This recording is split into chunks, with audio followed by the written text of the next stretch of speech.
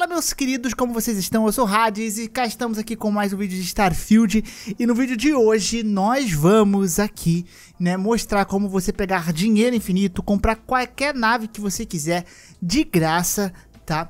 E vocês vão ver como é que funciona, tá? Vale lembrar que isso aqui é um bugzão, né? E jogos da Bethesda, assim, bugzão de você deixar o boneco extremamente forte, não são jogos da Bethesda. Então você vai entender como faz isso aqui.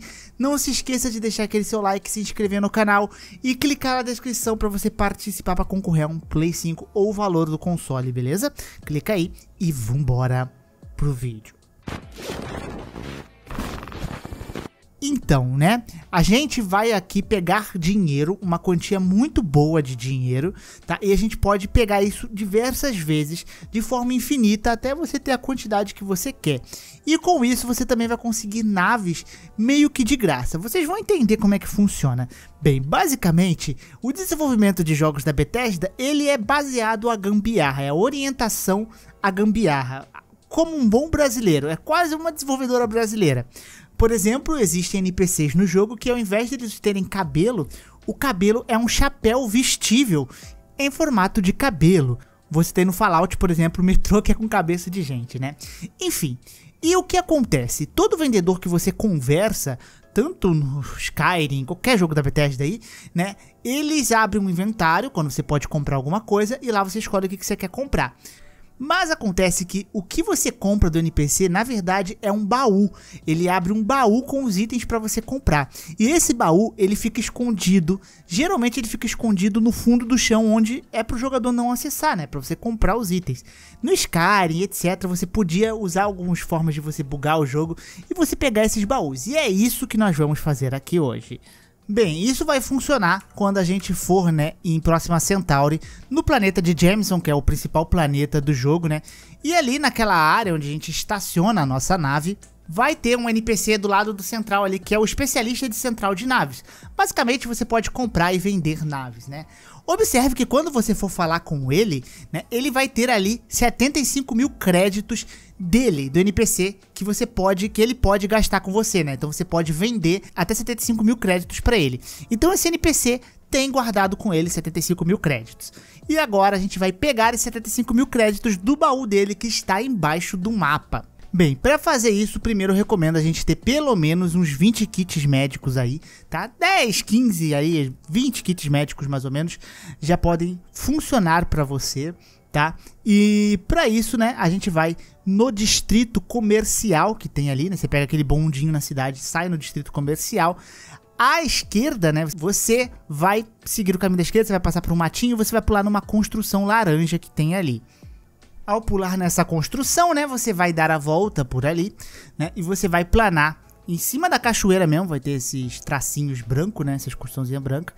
Você vai tentar pular ali, né, onde você vai chegar numa áreazinha que é uma área mais gramadinha ali com as arvorezinhas, né? Você vai seguir este caminho todo aí em frente, né, onde você vai ver dois blocos brancos na sua frente ali, né? Que o mapa já tá ficando meio esquisito, né? E você vai pular no segundo bloco ali.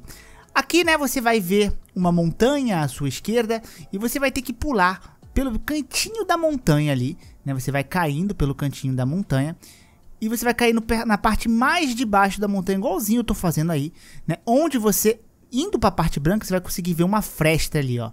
Você vai olhar ali, você vai ver que tem uma fresta, você vai pular por essa fresta e você vai cair ali dentro utilizando o seu jetpack, ó. Você cai com bastante calma, né? E aí, né, aqui tem algumas paredes invisíveis, então você vai precisar descer para perto de um laguinho que tem ali embaixo, né? Senão, se for muito por cima, a parede invisível pode te travar. E aí, você vai subir novamente, né, depois esse caminho. Aí, às vezes você pode ficar um pouco travado, né, no, no caminho, mas você vai chegar num montinho de terra. Aqui, preste bem atenção, tá? Salva antes aqui. Quando você pular aqui, né, o jogo vai se comportar diferente. Você vai ouvir um, um, som de água, isso porque, embora não esteja aparecendo aqui, você está dentro da água, então seu personagem está nadando, né? Você vai segurar o shift para correr, ou o botão para correr no controle do Xbox, que eu não sei qual é, né? E aí você vai o mais rápido possível para frente, né, seguindo esta pilastra aqui, tá? Corre mesmo com seu personagem, porque senão você não vai conseguir chegar. Você precisa chegar na no bloquinho de pedra que tem mais ali à frente que esse bloquinho de pedra, ele, se você demorar muito, né, você vai passar ele e você não vai conseguir. E aqui, na metade do caminho, você vai começar a perder vida, porque você está embaixo da água. E é aqui que a gente vai utilizar os nossos kitzinhos de cura, né? Você vai precisar ficar utilizando, espalmando alguns dele, né? Então eu falei, tem uns 15, 10 aí, eu acho que 10 já dá, eu acho que eu usei uns 5, 6 aqui, né? E como você vai salvar, você pode tentar mais vezes, né? E aí você vai perdendo vida, você vai controlando, né? Você chegou ali embaixo da, da marquise de pedra, você o personagem vai cair. Então você tem que tentar cair bem no meio, porque aqui vai acabar o efeito da água, né? E usando jetpack você vai tentar cair na bifurcação, assim, né? Entre duas pedrinhas que tem ali. Aqui a gente já tá na metade do caminho. Calma que o caminho é longo, mas a recompensa é boa. Beleza? Caído nessa bifurcaçãozinha aí, né? Você vai pular ali por ela e você vai tentar subir a parede, que tem tipo uma parede meio branca com, e do lado a verde, né? Você vai empurrar o personagem, o personagem meio que vai se esgueirar por ela, tá? É meio bugada a física aqui mesmo. E aí você vai ver uma construção branca ali logo em frente, né? Isso é porque o caminho está correto. Então você vai pular para o canto direito dessa construção, não entra na construção, senão você vai acabar voltando para a parte normal do jogo, né?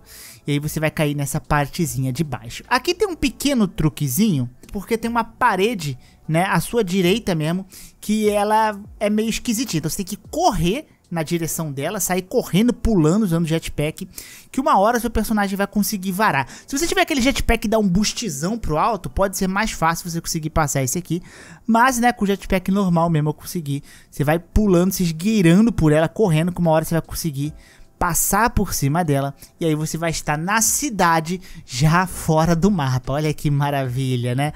Se não é Bethesda, não tem isso, maluco. Isso é muito bom. Né? Aqui a gente já consegue acessar um baú de uma loja que tem na cidade, tá? E você pode pegar todos os itens daquele baú se você quiser. Esse baú só tem 5 mil créditos, mas tem vários itens e várias coisas ali que você pode pegar, né? Que é da vendedora daquela loja.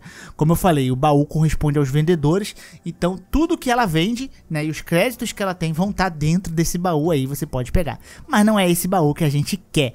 A gente quer o baú que fica do carinha lá perto das naves, né? E bem, muito próximo dessa loja que você pegou o baú, né? Você vai contornar a paredezinha de madeira que tem ali.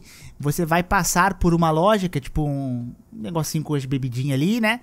E você vai seguir reto o caminho ali, né? Vai seguindo 100% reto. Dali você já vai conseguir entender mais ou menos onde você tá, né? Você vai conseguir ver sua nave pousada ali, provavelmente, né? E você vai poder seguir em frente. Aqui você já pode salvar e ficar bem tranquilo, tá? E aí, né, seguindo um pouco mais em frente, onde você tá vendo a sua nave, você vai ver ali embaixo um baúzinho com 75 mil créditos, né? Pula aí, dá umas puladinhas, às vezes dá uma bugadinha, cuidado só pra você não sair do... voltar pro chão. 72 mil créditos, então você pode pegar aí os créditos desse vendedor tá? Se você comprar alguma nave com ele, né, sei lá, você gastou cento e poucos mil, vai ter o valor que você comprou a nave, então vai ter 75 mais cento e poucos mil, né? Se você for falar com esse vendedor depois de você pegar os créditos, né, você vai ver que lá em cima, tipo, ele tá zerado de dinheiro, porque você pegou o dinheiro dele. E aí, e agora, Hades? Dá pra dar respawn nisso daí? Dá pra dar respawn. Você precisa esperar. Mas tem um truque aqui. Por que que acontece? Se você ficar, sentar num banquinho e esperar dentro desse planeta vai demorar muito. Mas a gente vai resolver esse problema. Pois é, porque um dia dentro desse planeta ele é mais curto. Mas um dia dentro de Vênus, ele é bem mais demorado. Então o que, que você vai fazer? Você vai viajar para Vênus, né? E você vai dentro da sua nave mesmo, ou se você tiver um assentamento ali, você vai sentar na cadeirinha em Vênus e você vai mandar o seu personagem esperar 24 horas locais, que dá 2.400 horas UTC, que é no ali fora, né? Então você espera aí 24 horas dentro de Vênus, que dá dois mil e poucos dias, né? E ao você voltar e for conversar com o NPC, você vai ver que ele já tá com o dinheiro recarregado ali e você pode repetir esse procedimento aí. Inicialmente pode parecer meio difícil, você vai entrando em um monte de parede e tal. Depois da primeira vez que você faz, você vai ver que é muito mais fácil, você vai fazendo cada vez mais rápido. Entretanto, né, eu recomendo você usar o dinheiro dele para comprar alguma nave boa. Ele tem nave que custa até 500 mil, por exemplo. Né? Então você usa esse dinheiro para comprar as naves e depois você vai né, e pega de volta. Porque aí você já pega logo uma quantia maior ainda, né? Já da nave comprada, né? E também você pega de volta o dinheiro da nave comprada. E também você pega já o dinheiro dele que deu respawn. Então você vai ter nave boa de graça aqui e vai, ser, vai ter 75 mil dinheiros de forma infinita. É fenomenal, não tem outra palavra, né? E meus queridos, esse aqui é o vídeo, espero que eu tenha ajudado vocês. Um grande beijo, um grande abraço, um beijo no popô. Até a próxima e tchau!